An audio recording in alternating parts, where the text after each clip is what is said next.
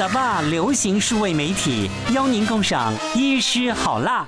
欢迎收看《医师好辣》，欢迎五位帅哥美女好辣医师团。欢迎。好，我们两位特别来宾，来，汪萌妮好，你会不会在客厅看电视看看的困气？我不会，哎呦，我从来不会，你不能讲会哦，因为哪个 不看电视？不看电视不是不看电视，比如说下午在家，嗯，很累，然后就就会睡一下。有时候很奇怪，在沙发上睡哦，睡个二十分钟啊，或十几分钟，精神我精神百倍啊。对，充电你。上了床睡不着了，对对对很奇怪。真的感谢你提供这个，因为呢哦，恭喜你就是偶机上症候群。但是呢，这个轮回到这个症候群会发生什么事情呢？是啊，来我们来看看，一去上课就不断生病，恐怖的上学症候群。好，这就小孩啊，你知道这这几年疫情，嗯，父母我啦对。获得最多？就是以前我儿子没有疫情的时候，真的一个礼拜就去一次小儿科，真的假哦。的？一直感冒。不是流鼻涕、咳嗽那些小症状都有啊，不然就是会发烧什么，每次都在吃药。我爸妈说问你们小孩怎么顾的啊，一天到晚在吃药。嗯，但因为这个疫情，我女儿真的反而很好。很少去医院。但是这个呃叫做免疫负债，嗯，对呀过去这两年没有收集的病毒啊，这这段时间真的是 猛虎出闸，全来了。这个讲到所谓的上学，这其实不是一个真正的病名啦，上学症候群当然只是我们大家戏称。嗯，比如说如果小孩上学一直生病，幼儿园我就说啊，这个叫脱呃脱音症候群，因为最近。真的非常多的家长因为这样而闹不开心。嗯，我昨呃前几天才有一个家长，他带孩子来跟我说，他希望能够得到医生的一些检查的诊断，确定他孩子抵抗力没有问题。嗯，他那种表情不像是很担心，他就是说验一下他有没有免疫不好。我说为什么？就是 哎这个气氛不太对，所以我就仔细问一下，我说是你想问你想验，还是你？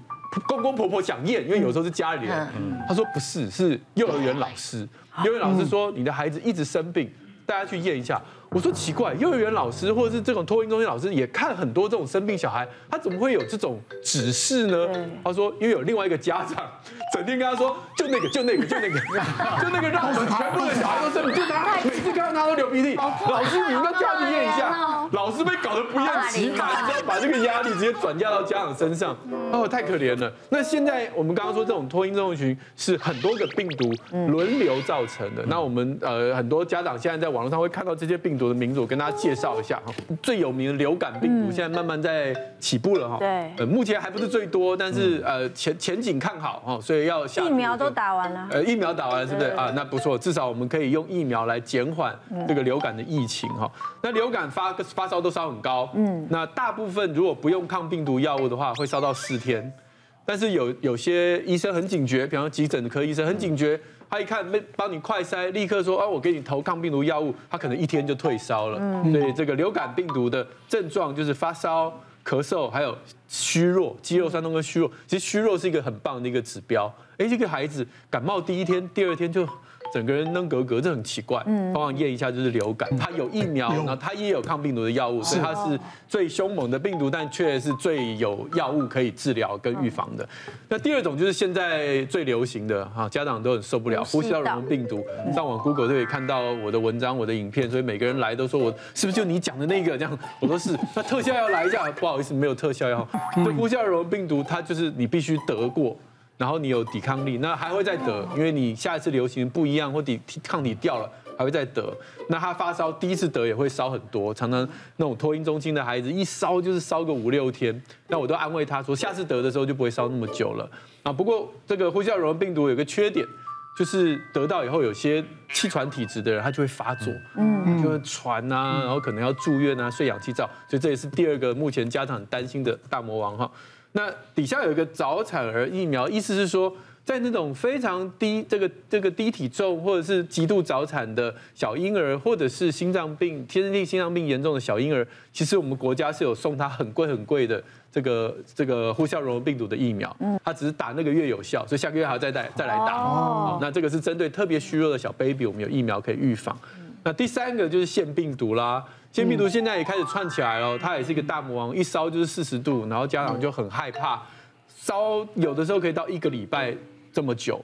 那有喉咙痛，有这个咳嗽，然后有些人会结膜会红，甚至有淋巴结肿，那这都是医生可以帮助你做判断。一样，腺病毒你非得得过它，所以它也没有疫苗，也没有抗病毒药物。如果我们能够借由这些快筛跟家长有好的沟通，让他知道有预期，说你这个病会烧这么多天，他就不会每天每天每天看医生，他可以在家里稍微安心一点，说我观察精神活动力。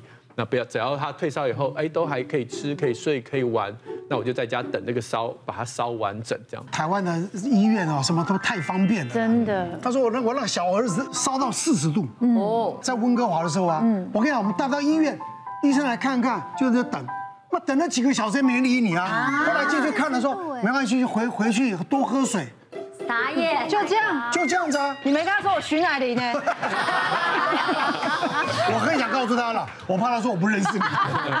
那很久啊！我想真的国情不同了，对对，对不对？老百姓的那种接受的那种范围也不一样，真的。像我女儿，她就是黄医师说的早产儿体弱多病的这一种，她一四九零克就生出来，小，还不满七个月，这么小。所以她那时候就是生出来的时候，还帮她打了一个那个肺泡长大针，所以她一直以来都是上呼吸道很容易。容易感染，然后肺很虚弱的这一种，所以医生刚刚讲的，只要流行病，他都是走在最前端、最流那一个，就是会被家长说休息一丢弃一，就是一直流鼻水，对，然后一直咳嗽，然后我每次就是就会怀疑说，我是不应该那么早送他去上学，感觉就是各种病毒袭击这样。然后那时候医生就跟我讲说，你不要一直送医院，因为医院也有其他的病毒可能会交叉，你就是三十八点五度，真的不行，退烧药什么都试过，你再再送医院。然后第一天就咳嗽，第二天他开始就。是精神不好，嗯，饭也不吃了，就是开始，然后玩也提不起兴趣，对，然后还有一点那喘鸣声，嗯，然后妈妈的第六感就觉得不对，但我还是忍住，觉得说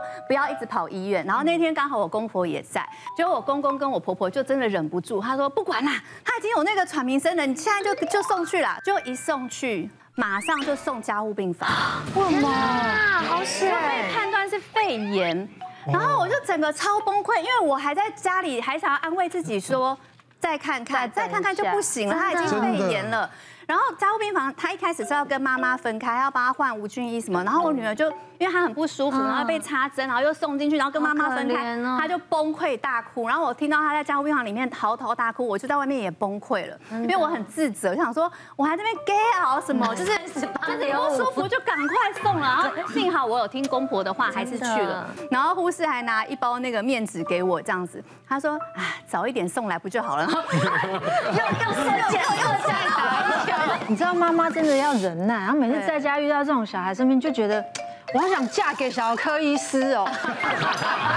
嫁错了，嫁错了，你还来得及啊！我怎么来得及？先离再嫁，不要乱相劝，乱相劝。来，我整间有一个三十岁的妈妈，初期怀孕，她已经刚好拿到那个妈妈手册，我们知道已经十二周以上了哈。然后就她来告诉你说，她一直咳，咳到肚子很紧。然后开始有点出血，哎，因为她是怀第二胎，那问一问之下才知道，哦，因为她刚送大宝去幼儿园，所以幼儿园她小大宝也回来咳嗽，一直咳，所以交互传染。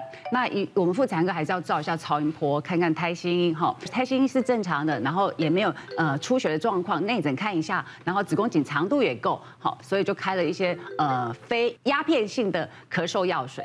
一定鸦片会止咳止痛，可是呢，妈妈喝下去之后，胎儿可能就会想要睡觉，就会胎动会就会减少这样。其实像张医师说说的一样啊，我们其实在这个孔明那天这个疫情啊，很多时候家里本来都防守的很好，其实唯一的破口就是小朋友到了托婴中心、幼儿园之后带回来的。像我们医院有个同事，他没有家人可以帮他带，所以他必须要把小朋友在两岁半的时候赶快送到托婴中心去。那没想到去不到半年，他其实开始轮番的发烧感染。第一次他确诊的新冠，那因为这样子，那个妈妈本来好不容易回到职场，就为了要照顾小朋友，就得逼着请假。好不容易好了没多久，又开始发烧，又呼吸道的症状出现，所以也是一样，他又要被带回家。那这个妈妈又得请假照顾这个小朋友。那第二次我们帮他检查，哎，流感，他又得了流感。那没多久，好不容易好了，又回到了那个学校里面去做学术交流，没想到又带有第三波病毒。不要再去了。他后来又发烧，我们去验呼吸道融合病毒，尤其是这种小小孩，他很难去自律，所以其实有很多的病毒就会在彼此之间做交流，那也会间接影响到家庭，甚至家里的工作。嗯，不得不说哈，像这种一去上学哈就生病的事情哦，真的是哎家长老师都很头大哈。那我。分享一个案例哈，就是我们有些时候会遇到一些小朋友，他去学校上学的时候，然后哎，平常跑跑跳跳都没问题，但是一上体育课哈，就觉得哎，就跟老师说脚痛，那看了好几次医生，哎，好像都没有好这样子哦。那那个时候来到我的诊间，我就看了一下，哎，这个小朋友是我们很常见的一个跟骨骨垢炎的情形哈。那这个情况其实是小朋友他很爱跳跃，很爱跑，但这个时候他的骨头、他的肌腱还没有发展的那么好，所以他在跳跃、跑跳的时候就很容易会诶造成一些发炎。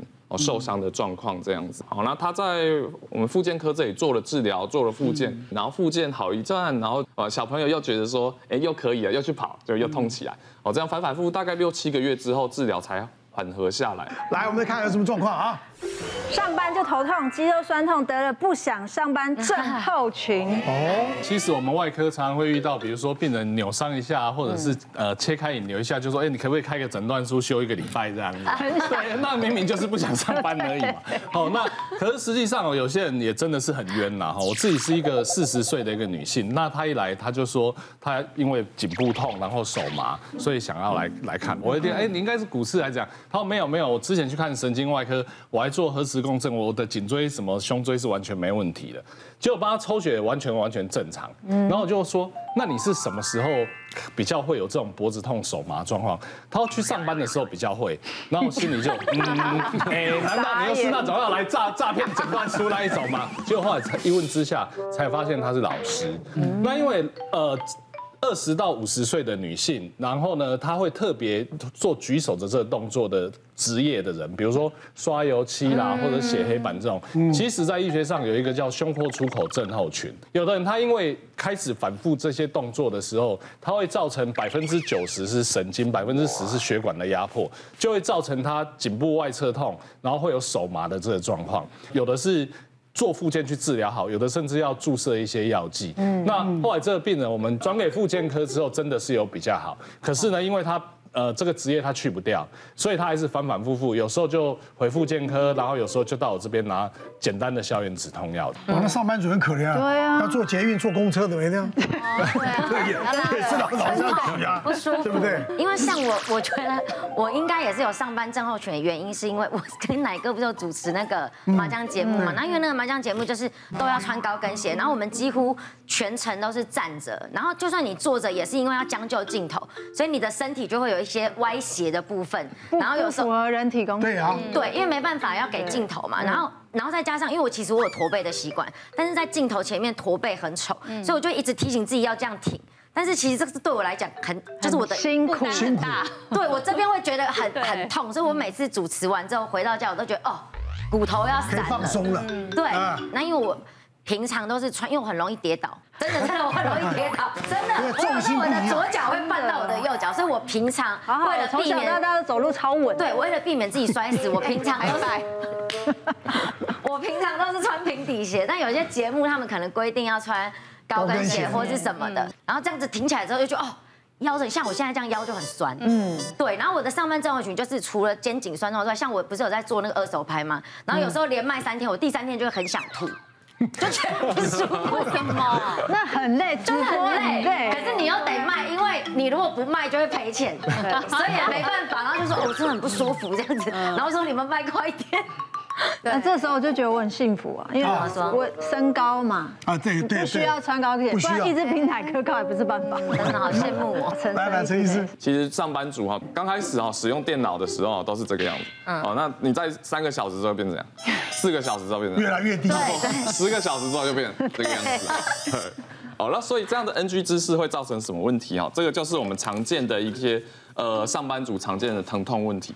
第一个哈是它常常会有哦，这个我们刚刚讲的就变这个这个样子哦。那这个姿势会让我们的上面的肌肉哈非常的紧绷哦，疼痛，我们叫上交叉症候群。嗯。那第二个哈会造成的常见的上班族的症状哈叫做，因为常常我们会久坐嘛哦，坐很久的时间，然后椅子有时候又很硬。哦，很不舒服哦，然后一坐就是十几个小时啊，那这个就可能会造成我们梨状肌症候群哦，这这屁股会痛，脚会麻哦，整个都会很不舒服这样子哦。那第三个常见的症候群哦，是我们的网球肘症候群哦。那大家说网球肘，哎，意思我不打网球哎，嗯，我说哎，其实很多人不打网球也得网球肘哎。哦，那为什么哈？因为他会一直使用滑鼠，一直按。对哦，那尤其像绘图的啊，哦或者是之类的，哦他一直按滑鼠，哦所以他这边的肌腱一直都在使用，哦所以久了之后就很容易会发炎哈，甚至受伤这样子哈。那我在这边分享一个案例哈，是一个呃三十几岁的女性，哦，那她每一次啊上班的时候，一上班就跟大家讲的一样，一上班就开始不舒服哎，就是 哦这里痛那里痛这样子哦，哦，甚至还会头晕哦，会头痛这样子哦。那她又说，医生啊，我觉得很奇怪，我以前哈用电脑十几个小时我都没事，现在半个小时我就坐不住了，哦，就全身不舒服。我会看到他很习惯的哈，脖子就会往前前倾这样子哦。然后请他挺起来的时候挺不起来哦，他会习惯性头就是会前倾这样，整个姿势就很僵硬。哦，那我一看啊，这个就是长期过度使用电脑，而且姿势不良，整个姿势都已经习惯性的变成我们的上交叉症候群。那这个时候整个脖子、肩颈都非常的僵硬、疼痛。哦，那这个时候变成说一上班哦就痛。那像这样的病人，我们经过复健、经过治疗，再加上一些注射，慢慢的、慢慢的，他就又可以重新回到职场。哦，重新有好的这个工作的情况。不过我一直跟他提醒哈，就是。哎，好了之后不可以，不可以又变回原来这个 NG 姿势哦。好了之后还是要长期有好的姿势，才不会再复发。陈医师刚才讲的时候，我一直觉得我的肩颈跟我的腰好酸，只是我的腰好酸，越讲越酸。我应该要去复健一下。没有，我想问陈医师，像我们本身就已经有点脊椎，我我自己有脊椎侧弯，然后因为我们长期都会翘脚，因为节目上我们不太能这样，或是打开什么都不行，就是要这样比较好看。可是我现在这样做，我反而更酸。做不久，所以我这样我反而轻松嘞。对，应该是说我们长期的姿势不好的时候，尤其像这样跨二翘二郎腿，习惯短期是 OK 哦，但长期会造成骨盆歪斜，然后整个脊椎姿势位置都不对。嗯，哦，所以这个其实就是要处理啦。哦，我们要处理，就是技巧，处理，陈医师处理啊，处理，处理，一两万可以处理，处理姐，处理姐。所以我们其实临床上遇到那种。不想上班，其实除了我们真的撇除心理上面的问题，其实大部分都是有生理、生理上面问题，甚至你是直灾啊。像我之前遇到一个小姐，她那时候来到急诊的时候，就很像落枕，她头根本就不能够转动，然后所以姿势就怪怪的，然后她就很非常痛。那来我们就帮她打消炎止痛针这样子。那在跟她对谈的过程中，她就是非常的气愤，因为她一直在他们的办公室里面被叫有公主病。因为他就是礼拜一上班可能好好的，礼拜二开始就出现这些针紧酸痛的症状，那他也没办法掩饰。他本来想说，我痛的时候就吃止痛药，人家看不出来就好了。可是他真的没办法掩饰，因为根本转个头或者是动个肩膀，他就很不舒服。之后才发现，其实他。原来他本来有晚睡到症候群，那因为他工作的关系，他也害怕这个晚上会在复发，会在疼痛，所以他其实长期会有一个代偿的姿势，就是不要尽量不要去让他疼痛或者是不舒服。所以其实我在想，他那个长期坐在办公室的工作，他姿势一定是怪异的，所以维持了某些不正常的姿势，你某些肌肉就会一直长期在收缩，所以就会导致很像出现落枕的症状。打开电脑那个冰里面一连串，他都是来打消炎止痛针，就是常常会因为酸痛来打。来打针，后来叫他去骨科做处理之后，其实他这个真的都少了非常多。我刚刚讲的都是上班的人，然后因为这样而不舒服生病，但是你上班也有别人会生病，你有听过这种吗？有这种，就是 你上班，然后别人受伤啊。就是我听过一个案例，就是他在呃我的这个自媒体上面，他就留言，然后他就说他很生气自己的婆婆说话算不算话，这个言而无信。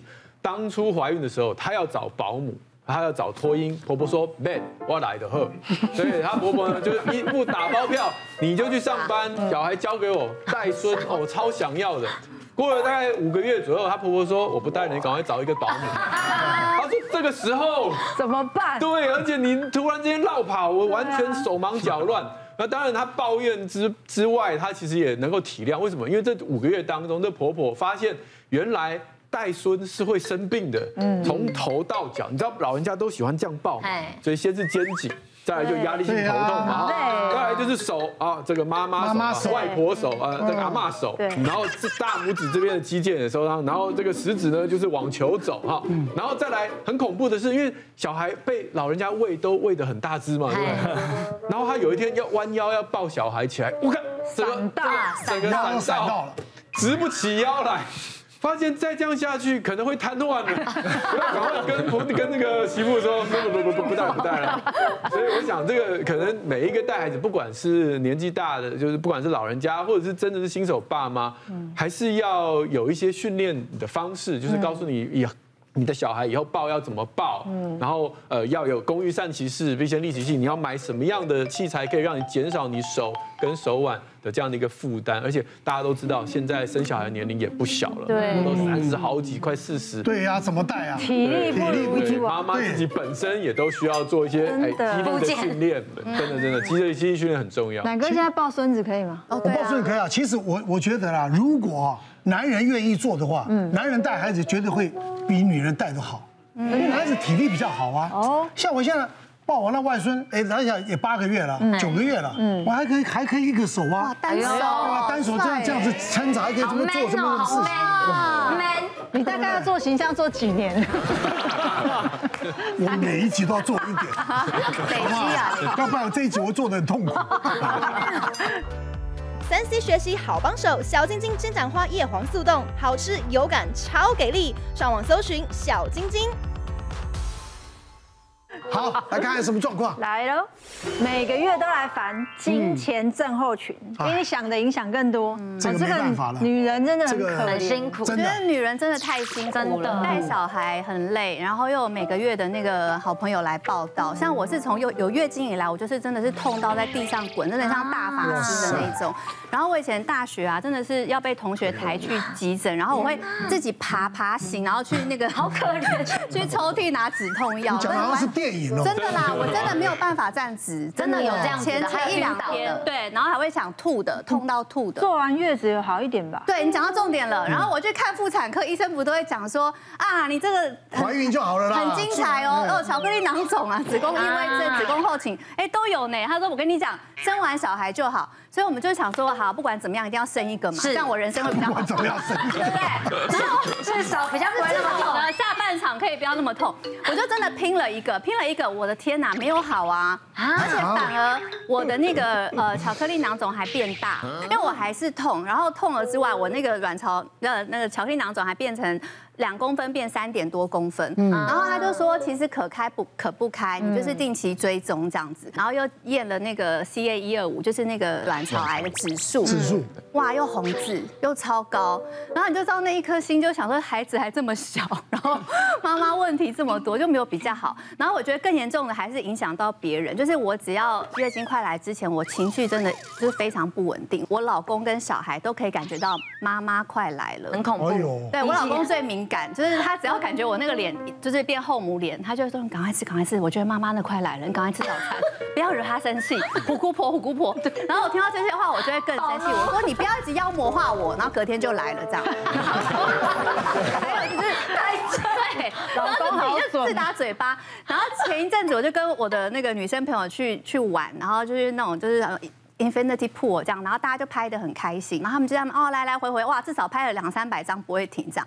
那我们下面还有个行程是要去吃那种米其林餐厅，那是不是都要提早预约？嗯。那我就说你们拍够了没？到底要拍几张？我们已经快要 快要那个迟到了。然后他们就说再一下就好，再一下好，然后不管我。然后到最后那个餐厅整个就就取消了。然后我就很生气，你知道我那个金钱症候群就裂开，我就说。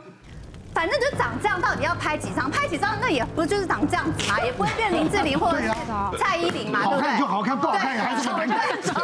然后我还人身攻击，理智断线断线。然后我闺蜜就超傻眼，说你平常也没在少拍啊，为什么我们拍你就要就是翻脸这样？然后后来我还是有下去游，因为反正都已经没有吃到米其林，我就去游。然后游完，女生游完不是那头发就会很塌嘛，就变成像河童这样。然后我就我就浮上水面。我想说好，我不要管你们，我自己游的开心就好。然后我闺蜜就第一个就开始笑哦，就说哈哈哈哈哈，好像阿哥哦，因为我我额头很高。然后第二个就说，哎，你真的变合同了啦。然后第三个更坏，他说他就让静看说。你要不要干脆去执法？我真的好生气，因为你刚刚攻击他们，对，攻击。他，然后他们因为平常他们这样笑我，我其实会笑笑带过，我不会怎么样，我会跟他们一起笑。就那天我就不知道为什么更小灯熊给我说你才要执法，你全家都要执法了，然后我就走了，然后我还在厕所哭哎，你不是经济这么群，你惊喜快你会变后母的，后母症候群，对，我还走。走心到哭，然后他们连轮轮番敲门说你还好吗？开玩笑的，道歉道歉，对。然后隔天就又来了，好准，哎，你好准呢，你好准。然后我就一一跟他们道歉说对不起，我昨天真的失态，还把他们全部都骂一轮这样。所以一来了之后就立刻脾气就变就好了。那我觉得你赶快停经比较好了。也是有一波，还没，更年期他有一波过了就好了。哦，真的。但你月经每个月都会来啊。可是他只是生气，你知道我高中同学有个好可怜，他连变身后母都没有力气。是哦。他就是常常。这样病恹，你常常看他很活泼一个人，然后某某一天就忽然这样整个人不对劲，那大家就习惯了，因为大家每天同学嘛。那有一天想说他这么不舒服去哪了？嗯，找不到他人。中午你知道大家厕所找、教室找、体育教室什么图书馆找，嗯，就是他倒在操场正中啊。然后因为中午，所以他就日晒。天哪！你知道他躺在加护病房躺了七天，天哪！才回来上课，就是因为真钱是嗯金钱症候群，他晕倒了他晕倒，他就是血崩，然后不舒服，可是刚好一个人去图书馆回来，没有人。同学跟在旁边，他就打在那，所以或者是大家找才找到他。哎，刚刚一凡讲的症状真的是金钱症候群。我们知道金钱症候群有哪些症状，像胸部胀啦。腹部也会胀胀的哈，有时候体重会增加哈，就觉得哎，快来 MC 之前怎么体重会多了一两公斤？你知道体重是很重要的哈。然后有时候会头痛，然后有时候会经痛，然后甚至于有时候焦虑易怒，好，这叫金钱症候群。一般妇女大概呃五十 percent 到七十 percent 都会有这样的金钱症候群哈。只要 EMC 来之后，它大概症状就会缓解。那比较严重一点，我们知道有没有听过叫金钱不悦症？哦，金钱不悦症大概大概三到八 percent 的妇女会有，这很恐怖哎，有时候会去自杀哎，这么严重，严重了吧？这个在我临床上有一个爸爸哈，爸爸带女儿国中三年级女生来我诊间哦，他就发现他女儿出经是国中二年级，所以他来观察他女儿一年，在看 MC 来之前一个礼拜左右，他女儿就是闷闷不乐，甚至会哭泣。趴着哭泣，然后课业会往下滑。之后呢，就问他，他就觉得他也不知道说什么，他就说觉得，我觉得很想哭，然后很想自杀。哦，小孩子跟你讲他很想自杀。父母亲很对，很恐怖，很担很担心。好，于是他爸爸就把他带来我诊间，所以就跟他喂教跟咨询。那当然，我们妇产我还帮他抽一下的荷尔蒙，雌激素、黄体素哈，抽一下之后，在下一个礼拜再让他回来。那有跟爸爸讲说，这个比较严重一点，因为叫金钱不悦症，不悦症会影响到他。自杀这种问题哈，所以除了我们妇产科以外，我还会跟他讲，身心科也稍微要看一下。那父母、父母还有家庭要给他支柱，否则他很容易是到学校去就嗯跳下去了。啊，所以有时候男人真的要多关心女人，真的，都不知道他为什么莫名其妙，是真的可能是这方面问题，他不是因为对你们们不爽啊或怎么样，有时候自己本身的生理的问题影响到。他的一些哈对状态。是真的，因为其实像女生，我说真的，十个女生应该有十一个女生妇科都不好，就是你很少听到女生说哦我的妇科超健康，如果是的话就觉得多多少少都会有。多都有。然后因为像我本身就从小就是妇科不好，以前小时候可能会很容易发炎，因为我妈妈也是这样，就尿道发炎什么。可是长大之后，因为你懂得哎怎么照顾她，所以就比较少发炎。但是因为我比较幸运的是，我完全没有金钱症候群。我 MC 来的时候，我只会胸部变大，体重还可以再更大，还可以。好羡慕哦，胸部变大，但肚子也会变大。没有。哎，你你这整集打算？对啊，我们两个真的很为难。你不是很过我们的？我是说的，那个医生刚刚讲，就是先胸部变大，然后体重变多，变重一两公斤，然后就比较水肿，然后肚子也会变大。可是我都不会心情不好，我反而会心情很好，就很想吃很多东西这样子。这样子谁心情不好？对，因为不会痛。啊，然后因为不会痛，其实很危险。因为我那时候就是呃有那个月经来了半年，断断续续，然后我是到最后一次血崩到我头晕，我才去看医生。可是其实这个状况已经半年了。有一天跟奶哥主持完之后，我站，因为在那边就是天冷。这里头很冷，超冷，很冷，然后你很冷，对对，然后你已经觉得这热量尽失了，你知道吗？然后站了一整天，就觉得哦腿很酸，就上班症候群，觉得哪里不舒服，这样就一站起来，我直接这样就来了，啪，没有，他是像那个老推整个像，对对对对，真的是。然后我助理吓到，我助理哎哎呀，赶快进去，赶快进去，对，然后我就瞬间觉得头有点晕，然后我们就去看妇产科，然后妇产科医师就他就用那个鸭嘴钳，然后一看就说哦。他说：“你这个肌瘤长那么大颗，你你都没有发现吗？”哦，对，因为我长了一颗这么大颗的肌瘤，嗯，然后我都不知道，它就有点像是那个水龙头，你没有关紧，它会一直滴滴答答、滴滴答答、滴滴答答。哦，对，然后但是我比较幸运的是，因为我长得比较前面，就是在子宫前面，所以就直接把我夹出来，血就停了。像我现在就是非常正常，可以直接夹出来，直接夹出来，很痛很痛，因为它在入口，就像做膜片可以看到它入口，对，它就会滴滴答答、滴滴答答。所以其实平常没事。少挨了一刀，对啊，是不是要这样想？挨刀可以麻醉啊。不是，我还蛮喜欢麻醉，蛮喜欢麻醉，就我喉咙，可以顺便睡一下。什么东西会是？三 C 学习好帮手，小晶晶金盏花叶黄速冻，好吃有感超给力，上网搜寻小晶晶。对啊，所以我我其实还蛮心疼女性的啦，就是其实很多时候每个周期每个月都会有一一个这样子，可是对啊，有时候。你的身边另一半如果有很严重的精神症候群，其实也蛮困扰。我曾经遇过，对我曾经遇过一个女生，她每次来了月经的前一天，她都会剧烈头痛，情绪就会变得不好，她就会化身成野蛮女友这样子。嗯，那那一天是这样，就是这个女孩子她也是在经前的前一天就是剧烈头痛，啊，痛的真的是受不了，所以其实男朋友就带她来挂急诊。那来的时候，当然我们就是先赶快缓解症状这样子。那我还在解释病情的时候，站在后面的男友，因为现在疫情不是都戴口罩嘛，我讲着讲着，口罩怎么忽然渗血，把口罩染红了？我说，哎哎，我说先生，你你怎么了？这样，后来他还跟我说，其实他为了求生哈，他那个金钱症候群，他女朋友在头痛剧烈头痛的时候，他会特别的乖，然后不不引起他任何的情绪波动，喂他吃止痛药之后，开始帮他做舒缓，就是按头皮啊，然后按肩膀啊，那应该是一个力气使用不当。那女生就挨了一下，然后就给她男朋友一个头锤，这样。我靠！对，好可怜当下真的只是觉得疼痛。因为女朋友真的那个疼痛，那刚刚那个止痛药我缓解不了，所以带她来急诊。所以看着看着，我就看她就整个血渗出来，然后把那个口罩给染红。天哪！后来男朋友也挂急诊了，这样。所以其实就是相连。对，所以其实我觉得，哎，有这样子的这样子的另一半很辛苦了。那要照顾另一半的人，也也也要有一些求生的技巧，要小心一点。是啊。但这可以嫁了啦，很贴心。对啊，对啊，对啊。做男人真的，他没有要娶啊。对。讲到江大夫吗？他没有要去。好，来 下一个，我们再看哈。年节熬夜又吃太饱，胃心症候群大复发。嗯，哎呦，我们我们一般讲所谓的胃心症候群，吼，比较广义来讲，就是说，呃，跟你的进食会引起你的心脏不舒服。嗯，好啊。然后比较狭义来讲，就说，哎，我的心脏不舒服，本来要吃心脏药，可是我吃胃药可以缓解。哦这大概就是比较广义的一种卫星症啊。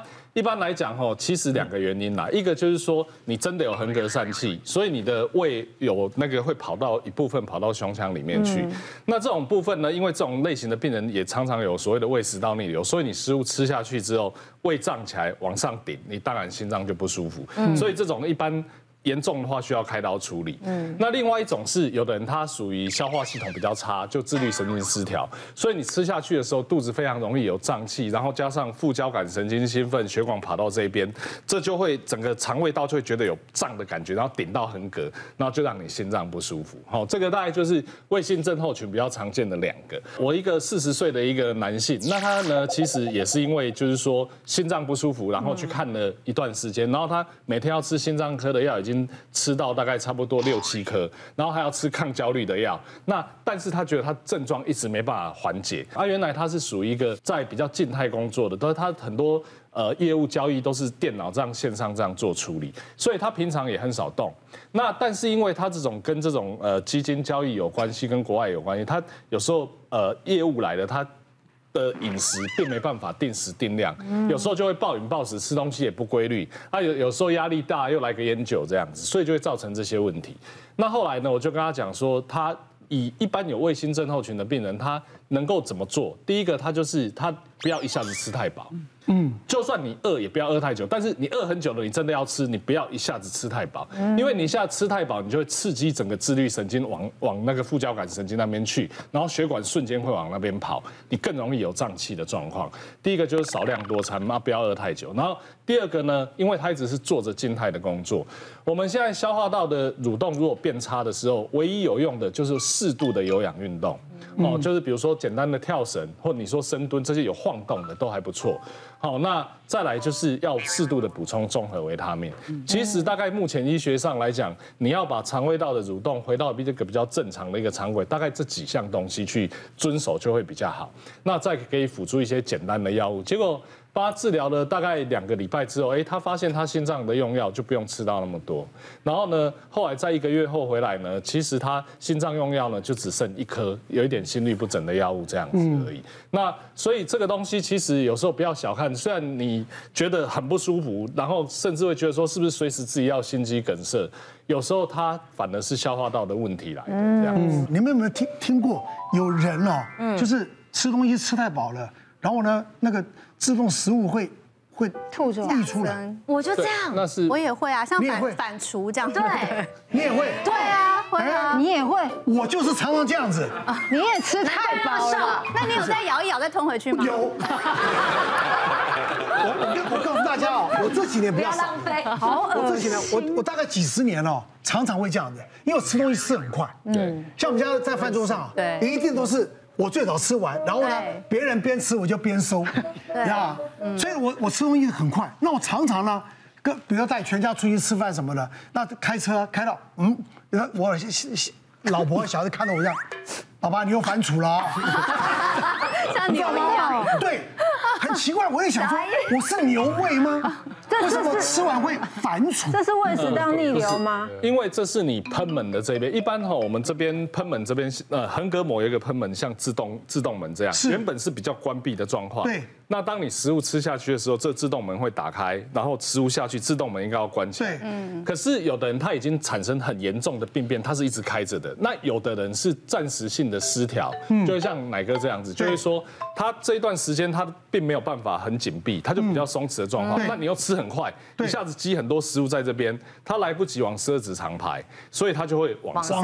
对对对对对。那这种如果说你一下子不要吃那么饱啊，或者是你的压力变少的时候，这个。呃，它的调节能力变比较好的时候，它其实就会改善。你讲到重点哦，就是不能吃太饱，嗯，不能吃太多，太快了，太快又又吃太快又又饱，对，所以都会溢出来。对，哦，你你们俩也会啊？你不孤单，哎呦，找到找到同伴了，不孤单。我以为我是怪物哎。我们在那个化妆间放饭吃饭的时候，你才打开冰箱，哎，哪个吃完了？奇怪，也太快了吧？没有，那个快是因为我只吃菜了。我我都我都吃的很少，便当便当我都吃的很少了。但我也是胃弱型的，然后我的工作就是一直都不是那种可以呃准时吃饭的，因为我以前是那个空服员，大家就是在吃饭的时候我们就要送餐嘛，然后就是真的要自己吃的时候，就是也是囫囵吞枣，就是一直塞食物，然后到了记者的时候到达了巅峰，就是烂到了巅峰，因为记者还伴随着压力非常大，每天都在跟时间赛跑。你看你十一点多你们上班族准备要放饭的时候，我们在赶带、交代、写稿。过音，嗯，然后你慢一点，那个长官会直接踹门。我们过音都有拉门嘛。然后如果你十一点半还没有准时，他就踹门说：“白痴啦，快点抽出来！”所以每天就是差不多中饭跟晚饭是我们压力最大、最大、最大的时候。所以我那时候就知道我自己胃很不好，所以我抽屉打开，第一个一定有刚刚那个经痛的药，然后第二个一定有胃药。就有一次我就是呃上完一整天的班，然后那天刚好有聚餐，我就跟公司的同事，我一整天都没吃饭。然后聚餐就大家会喝两杯小酒啊，然后又吃什么麻油鸡带一点酒的。哇，整个直接又又送急诊了，脸色发白，然后冒冷汗，然后就这样偎在那边，然后到后来就是还跑到厕所像喷泉一样吐，太吐，然后又被送走，然后医生说你怎么那么能忍？就是你已经胃溃疡，胃有一个小洞，你怎么还不赶快来看医生？你怎么可以忍成这样？我说因为我都自己一直吃胃药这样，所以就一直压一直压。对，然后但是呢更更惨的是我已经在急诊，然后掉点滴了，对不对？然后。因为早上四点半要播早报，四点半一定要进公司早报新闻，然后我就说医生不行，我没有办法临时就是开天窗找人代班帮我拔掉，然后我还在吐，因为我还没有痊愈嘛，然后就一边走越，好辛苦，走到 新闻台，然后导播看我，他说你这样怎么办？你怎么播？我说可以可以，因为妆化就化浓一点嘛，口红涂红一点，对，然后就穿着套装这样啊。播播播播播，然后我说老师的头会送进来，然后就进 S O T 的那一分半的时候就，然后嘴巴擦一擦就哦，那下一则新闻我们要追踪的是，好专业的，我就这样哇嗯哇嗯这样，然后就播完了一整整节新闻的。哇前前那个应该应该把你做 live 播出，以后每一每一次播新闻呢，导播吐吐吐，对，为他投石头，反刍反刍，一直表演，辛苦啊，辛苦辛苦。我也是，好，那其实啊，我们在临床上哦，你肠胃的不舒服，你会引起像心脏心脏的那个症状。那其实你心脏不舒服，有时候会引起像类似肠胃的症状。所以其实我们在急诊。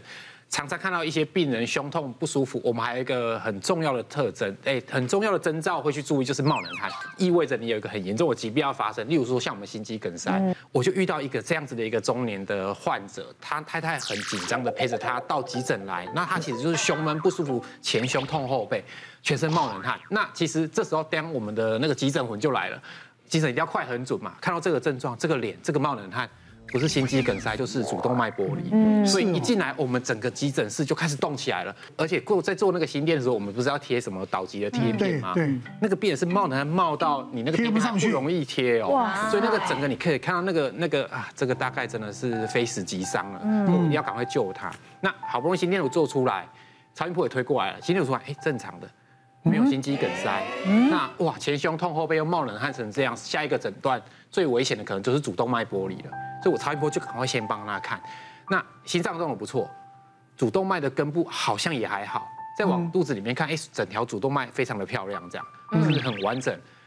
后来这时候他太太才有机会跟我讲话，因为前阵子都是医，现在都是医务人员在忙嘛。那那医师，我觉得他会不会是吃太饱？我说他吃太饱，因为他们刚刚就是就是因为那个是，他们有一个公司有个聚餐，然后他先生跟人家喝酒，然后吃了非常多东西之后，一开始是觉得很胀，后来就一直坐了很想呕吐，后来就开始剧烈的胸痛和冒冷汗。结果我探头就从心脏慢慢的往胃移动，哎，真的胃里面很胀。后来帮他打了点滴，做了检查之后，哎，心肌酵素完全正常，所有的血液检验报告也完全正常。就靠着我打了点滴和一些肠胃的药之后，哎，症状就改善了。最后就是真的是吃太饱，舒服。对，不要吃太饱，这也太劳师动众了。对，就就离院了这样。不过也也让我人生算是好事啊，对，算是好事一件了。不然其实他那时候进来。真的，我第一个的诊断心肌梗塞，第二个诊断主动脉剥离。没有，因为刚刚医生讲的那个，其实我觉得我们演艺圈的人，或者是像你刚刚讲的那些高压力族群，其实吃饭都是不定时的。对，那因为不定时，所以会养成我们吃饭很快。因为我吃饭也是超快的那一种。有一次就是詹老师请我去吃那个麻辣锅，詹老师就很厚的一直夹给我，一直夹给我。我想说这个肉应该很贵，不吃好像不好意思，我就一直塞，一直塞，一直塞。然后但是因为我平常吃的东西是比较清淡的。然后我吃完之后，当下觉得还好。然后回到家之后，我就一直觉得不舒服，而且我觉得我心脏很痛。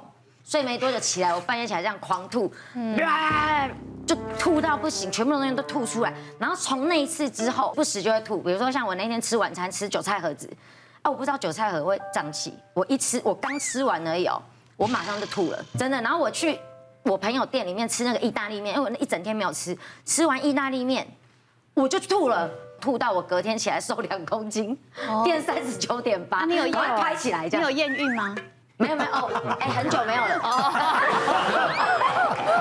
怎么对？然后所以我就觉得我的胃应该是蛮严重的。没有，应该是喷门被你那一次吐有裂开了，有一点松掉。对，就会变得很容易吐。之前还吐到整个脸微血管破裂，就这样一点一点。熊这样一定要尽早检查，因为你反复这样一直吐，胃酸其实跟盐酸的强度是一样。如果你每次这样吐都会。痛的话已经有灼伤食道，所以他他上次去去开刀喉咙啊，所以是应该是灼伤食道。那那可以缝小一点吗？对，会会可以用手术去做。你要健康检查一下，有了要要要。我们有一个很特别的一个例子，他是小朋友跟他爸妈是分隔两地，那爸妈在台北工作，然后小朋友就是在宜兰啊跟这个老人家住，那他那个小朋友会有这种。那种深呼吸的感觉啊，随时随地胸闷，怎么会这样？对，然后他们就觉得很奇怪，就说：“哎，那个台北医生比较厉害，你带你的这个孙子去台北看看医生，好就医方便。那在台北先待一段时间，反正爸妈时间调配一下。哎，说也奇怪，在台北待着待着待着，这小孩症状就好了，哦好，就送回宜兰阿公这个阿公阿妈家。过一段时间，阿公阿妈说又又来了啊，然后他就就是送回台北。”这一次呢，多看了几个医生之后，开始有一些人想说，这也不是，不是，也不是心脏问题，也不是肺脏的问题，这应该是那个妥瑞症。那妥瑞症，那为什么啊？压力大了，压力大啊，爸妈就开始哭了啊，在宜兰这么想父母啊，一离开爸妈，在宜兰压力就很大这样子啊，你这个阿公阿妈是不是欺负你？想想也没有啊，阿公阿妈对他超好，而且每次他回去都很开心啊。你压力大在哪里呢？那想念爸妈会想念到这种这个妥瑞症、抽动症吗？就发现其实我们都知道抽动症有两个我们比较常会说的，一个是压力之外，另外一个是食物。哦，所以如果你吃一些垃圾食物啊，色素、香精、防腐剂啊，吃这些化学物质，其实很多有这种这种抽动症体质的孩子，他就会发。嗯那那就真相一个大白了，对不对？因为真的去阿公阿妈家没压力，真的没有压力，什么零食都来哈，要洋芋片有洋芋片，要糖果要饼干要什么都有。所以其实那个是因为吃化学物质造成的这个症状。他来台北，爸妈比较严格一点就好了，没得吃就对，就是吃健康食物，哎，就缓解。不管是我们这个生理或心理这什方面的因素呢，都一直反复的这样子的呃来回影响的话，哦，还是一样，哦，这个问。问这个专家，对，了解自己身体状况，好不好？谢谢，谢谢，谢谢。